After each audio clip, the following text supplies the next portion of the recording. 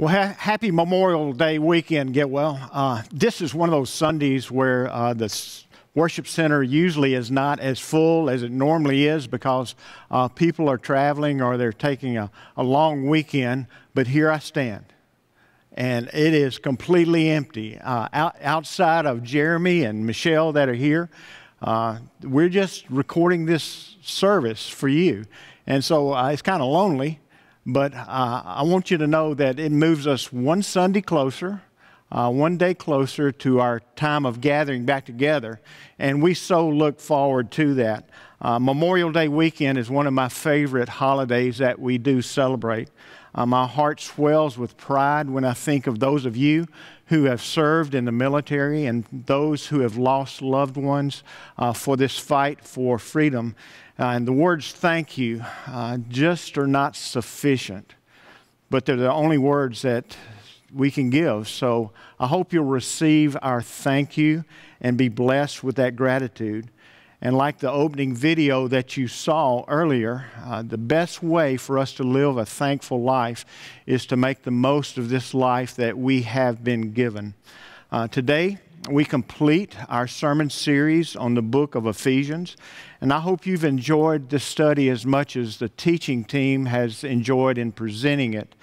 Uh, the title of this series came from a book that was created by a Chinese pastor, uh, Watchman Nee.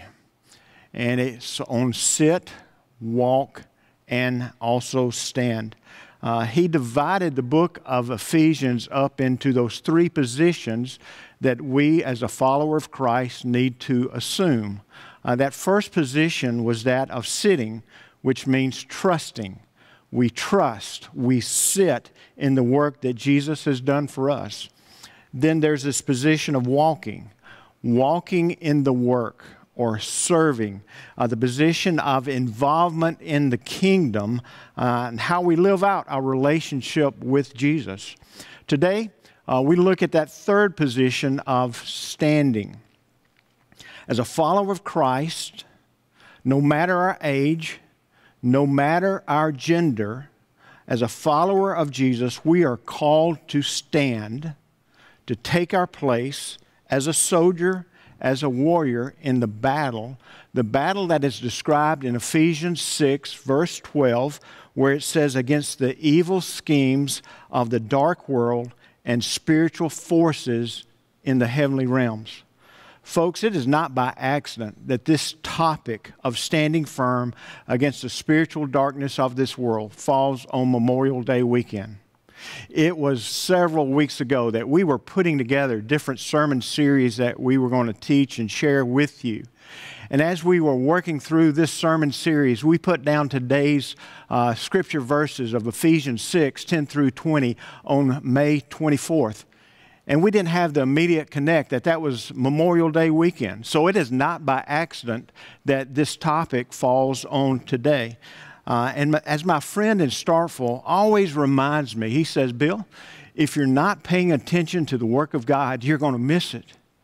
So here we are today dealing with this topic about this battle against spiritual forces. So let's look at this position of standing as you read Ephesians 6 10 through 20, uh, you'll find that the position of standing is mentioned three times uh, throughout these verses. You'll see it on the screen. In verse 11, we're called to stand against the devil's schemes. In verse 13, we're called to stand our ground. In verse 14, we are called to stand firm as we dress in the different pieces of battle armor that are described here. So we stand against, we stand our ground, and we stand firm. There is no doubt that this position of standing carries the imagery of a Roman soldier. Uh, two little known facts concerning a Roman soldier are this. First, a Roman soldier had a shield, he had a breastplate, he had a helmet, everything that Paul mentions.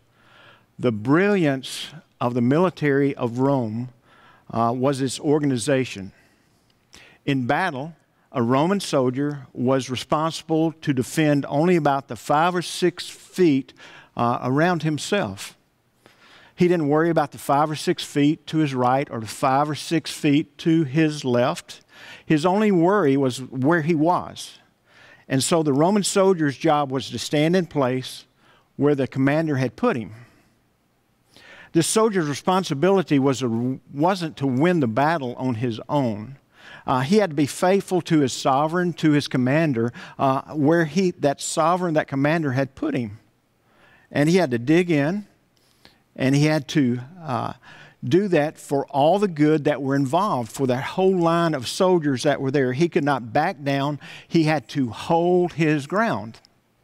So the Christian has the same requirement as he or she stands. Uh, you stand at home.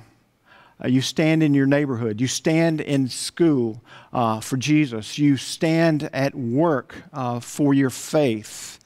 Wherever I am, uh, I have to defend that plot of ground that God has given me. And so, wherever you are, uh, I can't be there. You have to be there. You have to show up. You can't slack. You can't give way. Uh, you have to stand. And wherever I am, I have to stand for you as well. The task of the Roman soldier was to be faithful where he was. The same is true for us as a follower of Christ. The second part of this image of standing as a Roman soldier had to do with their shoes. They had the state of the art sandals. On the bottom of those sandals were cleat like exposures that uh, protruded out. Uh, they did that for the soldier so they could stand firm and they could hold their ground and could, they could not slip, they could not slide, uh, they could not be pushed back, but they could stand firm. In Ephesians 6, Paul is clear that we are called to stand and we are to do battle for our Lord against the evil of this world. And Paul, he doesn't mince words. He doesn't shy away about the adversary uh, that we face in this world. I'm not sure about your belief about evil, uh, the spiritual forces of this world. Many in today's world, they scoff at the notion that there is evil or there's an existence of Satan. And they argue that that's only a figment of one's imagination. And they flippantly, they brush it off uh, with the mindset that whoever believes that, it, they're just part of the less educated in a society.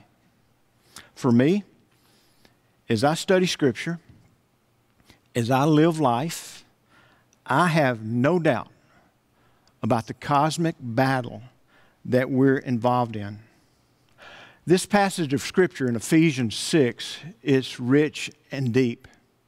In fact, there's so much that's in these verses from verse 10 through 20. Uh, it could be a sermon series unto itself. Yet, what I want to do today is I want to give you four strategies that you and I need to employ as a soldier uh, for Christ as we hold our ground, as we stand firm against the evil cosmic forces of this dark world. To do that, then let's know this. First, let's identify who this battle is against.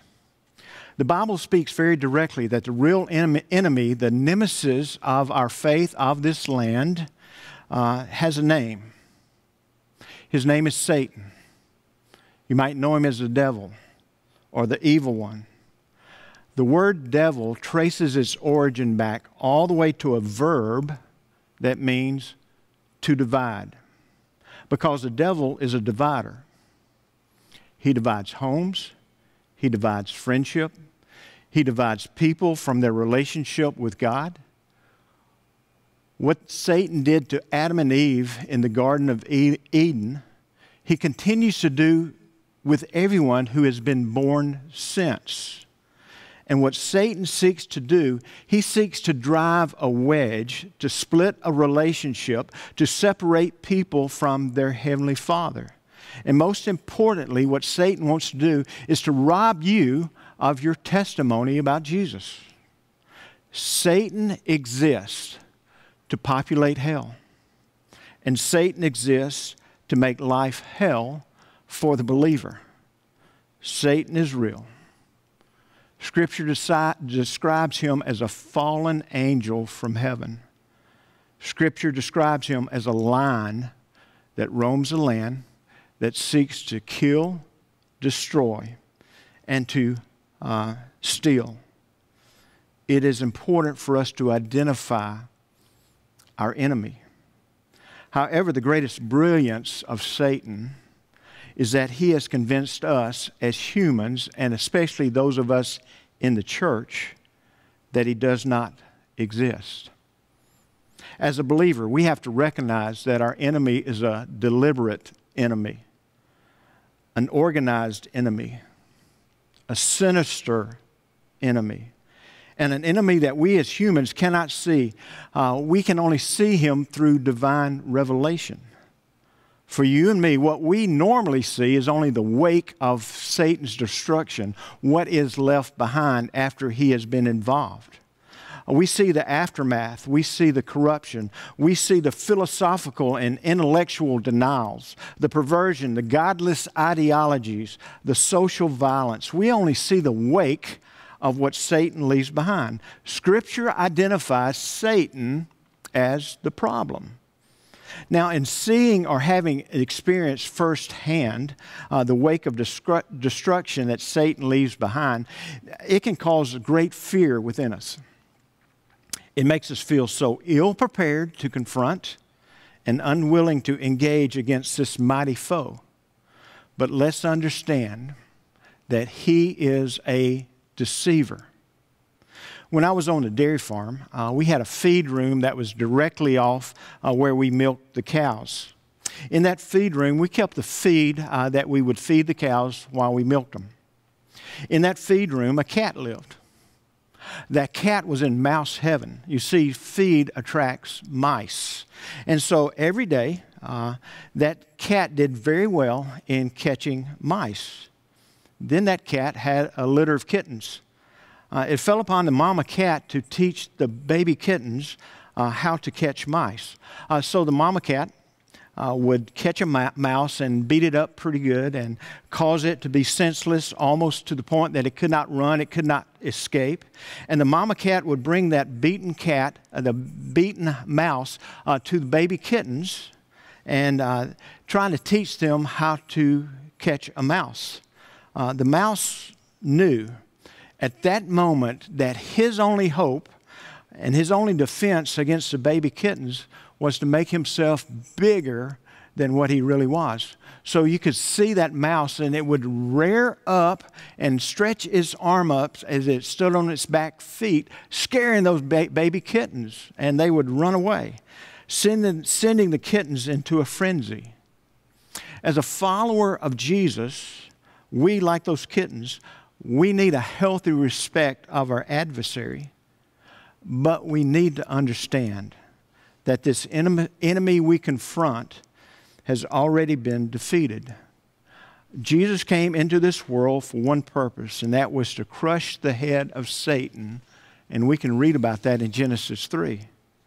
Satan was a problem of this world, and Jesus came to destroy Satan's rule because of what Jesus did to Satan, that means for us as followers of Jesus that we are not entering this battle fighting for victory, but we're fighting from victory. So, folks, do not let Satan, the evil one, rear up and deceive you in thinking any other way. He is a defeated foe. With the enemy identified, identified, Paul moves on to uh, this call to duty, uh, this call to arms that we are to be involved in. And Paul tells us that our duty is to stand, to dig in, to show up for this battle against this evil. That's why we need to be aware and implement the four strategies that he talks about uh, for God's soldier in Ephesians 6. Here's the first strategy. You can write it down, it's going to be on the screen. Um, but the first strategy is that you have to put on the new person. Put on the new man, the new woman, if you will. When Paul talks about putting on the whole armor of God, the phrase putting on is something that he uses a lot in his writing. Uh, we find that phrase put on twice in Ephesians, the book of Ephesians. And when Paul uses that phrase, it always has to do with embracing this new life that Jesus gave you. You see, when you experience salvation, you were rescued out of a life of sin that you were living in. Being rescued from a former way of life, then how do you live on the other side of rescued? Do I continue to live the way that I always have lived, or do I live differently? In verse 11 on the screen, Paul writes, Put on the full armor of God. Notice whose armor it is. It is God's armor, it is not our armor. And that's important to see.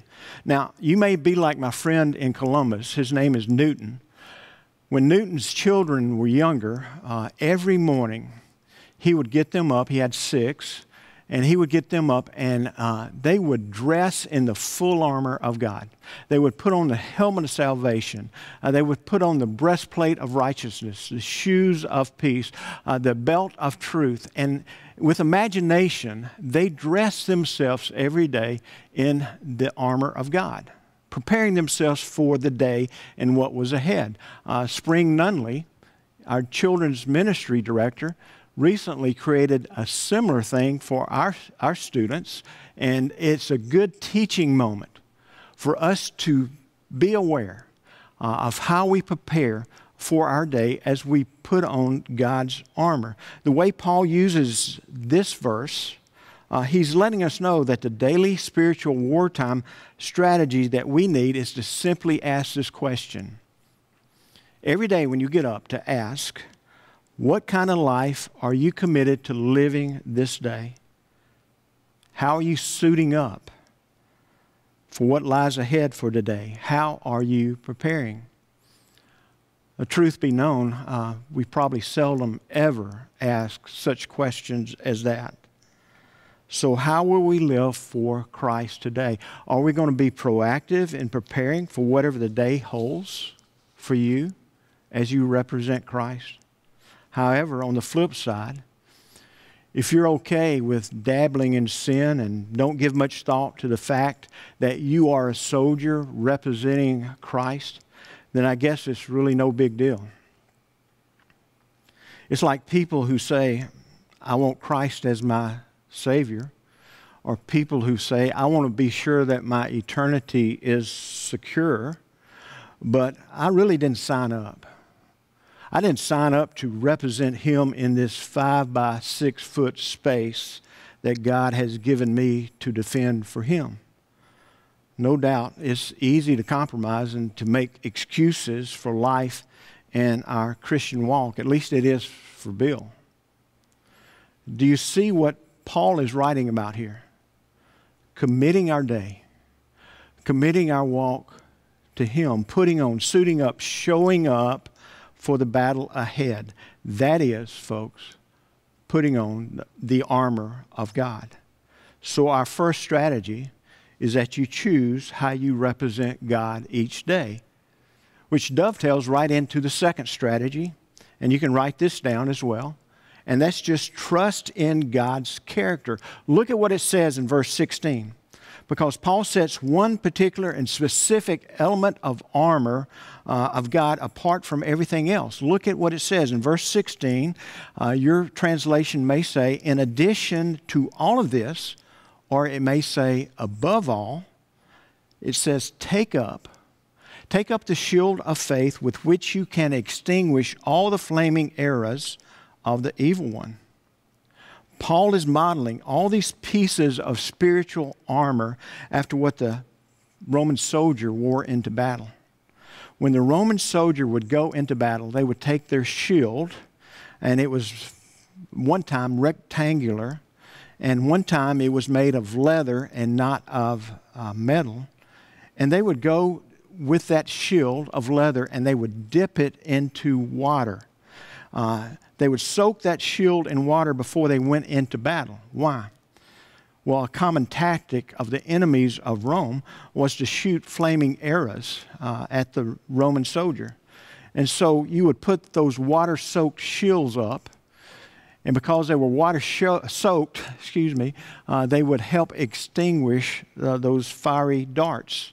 When Paul says, Take up the shield of faith with which you are able to quench all the fiery darts of the wicked, evil one. Faith in what? Your faith in God. You see, here's the deal. The more convinced that you and I are that God is good, that God is faithful, that God is stronger than what opposes us, then the more consistently uh, we are willing to be on the front line of battle against evil, right? The more we understand who God is, the better it is for us to be on the front line. But we get confused about this shield of faith sometimes. Uh, the shield of faith is not faith in our own spirituality or how much faith we might muster up to use at any given time. It's not in our own faithfulness. That's not the shield of faith. What Paul is talking about doesn't come from our own self confidence in how great a warrior that we are. It comes from our confidence in God and who God is. It comes from our confidence in Him. When we trust in God's trustworthiness, that is what defeats and destroys the lies and extinguishes the fiery darts of the enemy. It's in our faith in what God can do. So, strategy one is just to put on the new person, suit up for battle, show up. Strategy number two uh, we trust in God's character, His faithfulness of who God is. Uh, that's what we are to do, Getwell. But the third strategy, we want to be able to quote Scripture. Why? Well, let's look and see. Because in verse 17, it says, Take the sword of the Spirit, which is the Word of God. It is not by accident that Paul couples these two things together where you take the Word of God and you enter that battle and you fight using God's Word, His sword, against the lies and the doubts and the fears of the enemy. Of all the seven pieces of armor that Paul mention, mentions in this section of Scripture, this piece of armor is the only offensive weapon that Paul describes. The other six deal with a defensive posture of holding ground. Paul takes the Word of God and describes it as a weapon of attack, a weapon of aggression. This third strategy, the Word, God's Word, is meant to make you dangerous. Paul wants us to know that your knowledge of God's Word is what makes you a threat to the power of darkness. So, the obvious conclusion it means for you and for me that we have to read our Bible and gain knowledge from it. We have to memorize Scripture so it's readily available for, for our use uh, at a moment's notice. This is not something about measuring our own spirituality by how many scripture verses we can quote. Not at all. But in our everyday devotional life with the Lord, as we're reading His Word, that we leave that Word and we say, Help me remember something from what I read today in the place that you put me in conflict so I can call on that word for you as I represent you. When we do that and we follow along, um, asking for the Spirit's revelation of the word that we just read for the day, then we memorize tons of Scripture. We may not say it right, we may not say it correctly, but it is used as an aggressive tool in the battle against the evil one. God's word undoes the lies and the bondage of the enemy. And when you have that understand, understanding and you start quoting scripture with the knowledge in that way, you become a danger, a danger to the lies and the darkness of the enemy. So, strategy number three is that you put the Word of God to work in your life. I want to give you a little exercise because I'm going to give you a sentence. As you look at this sentence, you can interchange two letters. Uh, the two letters are D and K. And here's that sentence write it down. The word won't work unless you work the word. The word won't work unless you work the word. What do you do with the word of God? That is the worth of God's word. I heard it said like this that the word of God is like a can of paint. The value of the paint is when it is, when it is applied, not while it still sits in the can. Our fourth strategy is prayer. You and I have to understand the power of prayer. Of all the things that Paul tells us to do in this pa- passage, prayer is probably the most important strategy uh, that you and I are called uh, to learn. Here's something that I, have observed in my walk with Jesus. From being involved with uh, clergy and Bible teachers, being involved in seminary, uh, anything that I've been part of in a venue like that, here's what I've, I have observed. I'd be in such a gathering of biblical intellectuals, surrounded by what we could call well versed and intellectual people. And in those gatherings, I have come to observe and know that Satan doesn't mind us getting in God's Word if Satan can use God's Word to make us argumentative. He really doesn't mind at all. The Bible says that Satan can even quote Scripture, but prayer, folks, when God's people pray, Satan has no time for that. Prayer is always dangerous. When the people of God rise up in faith and they start pleading with heaven to undo strongholds, turn back darkness, turn back evil, that is really dangerous. So you have to have all these strategies. One is not more important than the other. Uh, you have to embrace, you have to put on the new life that Jesus gave you. Make that decision. You must trust God and believe above all else that He is good and trustworthy and never fails. You have to also know the Word. Be able to quote Scripture, talk to the devil, preach a sermon to the devil in the right moment. But you have to pray. You have to pray. You have to have a life of intersection, intercession. Look at what it says in verse 18 it's on the screen. Praying always and with all prayers and supplication in the Spirit, be watchful. That is a good description of what a prayer life should look like. When Paul uses the word Spirit, in other words, prayer is done in the power of the Holy Spirit. Folks, as long as you and I are living this life, rest assured that we will see the enemy's presence and we will witness and experience the wake of Satan's destruction in our life. There will be areas where it seems that the devil knows how to get us, how to, how to tempt us, how to put us in fear, how to incite doubt. He knows how to get us to feel insecure. He knows how to make us discouraged. Listen, in those moments, you rise up and you say, You know what, Satan? I'm using you as practice.